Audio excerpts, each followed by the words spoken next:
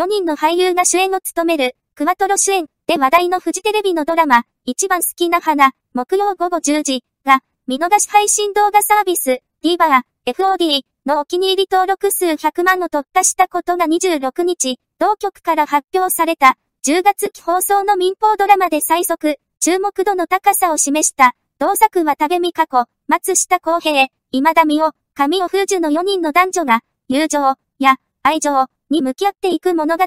それぞれのキャラクターへの共感や視聴者の持論が SNS 上で展開され、放送後はトレンドワードの上位に上がっている。また、今田が演じるみゆきよよの母親役として斎藤由紀の出演も合わせて発表された、娘に愛情をかけるあまり、干渉も多い母親役で、斎藤は、セリフだけを追いかけるとあるし湯の毒親ですが、フラットなアプローチではなく、繊細に慎重に演じられたらと考えています。世々の葛藤と、本音をきちんと話すこと、心を開いて相手の言葉を受け入れる勇気を持つことの大切さを感じてもらえたら嬉しいです。とコメントした。プロデュースは村瀬健氏、脚本は産方ミクシなど2022年に同枠で放送され大ヒットした、サイレントのスタッフが再集結した、ラベラ4人が主人公のクアトロ主演作、性別も育った環境も異なる4人の男女が、ふとした出来事をきっかけで出会い、男女間の友情や恋愛感情に向き合っていくストーリーとなっている。